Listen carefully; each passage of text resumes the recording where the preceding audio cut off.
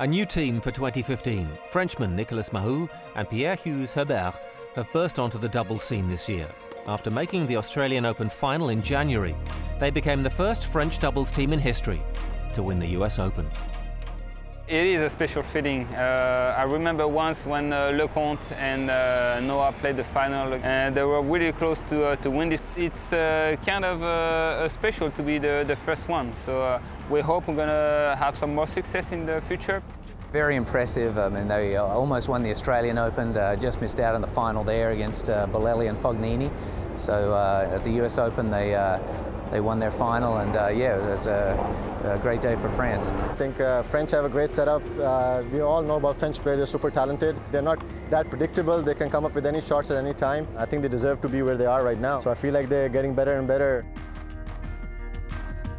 Although they only teamed up at the start of the year, they clicked immediately.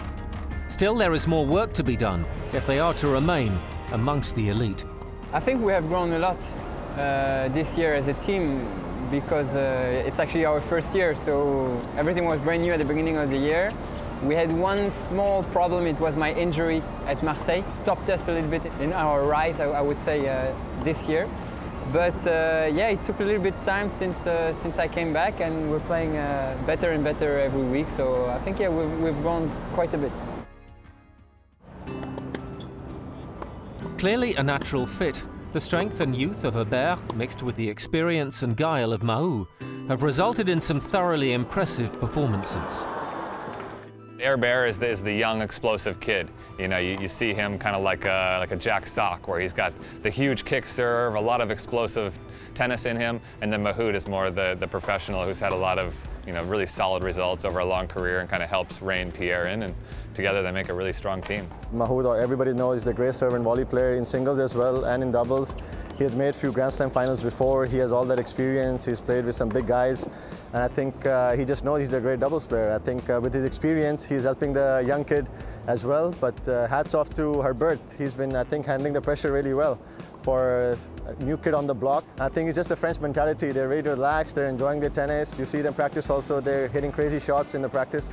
And when it comes to the match and the, I think, crunch moments, they're just loose and relaxed and they believe in themselves together.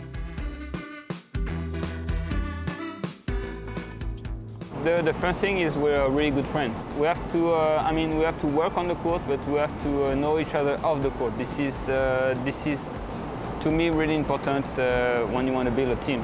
And uh, we spend a lot of time together. We're a team that is difficult to break because we're both serving quite well and uh, yeah, it's quite tough to, to break us. And, and after, when you don't get broken, you have many chances to, to win the matches. And I think that's one of our uh, main uh, strengths.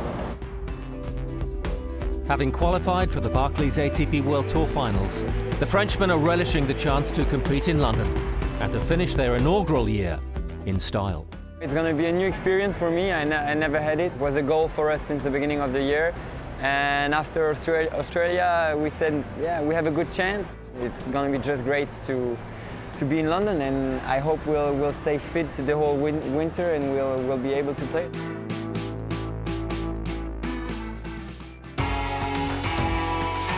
Next week on ATP World Tour Uncovered, we're indoors in Europe with all the action from Vienna, Moscow and Stockholm. And the latest member of the top 10 club, we catch up with South Africa's Kevin Anderson. Don't forget to log on to the all-new ATPWorldTour.com for your 24-7 breaking news and talk with us on Facebook and Twitter in English and Spanish. See you next week.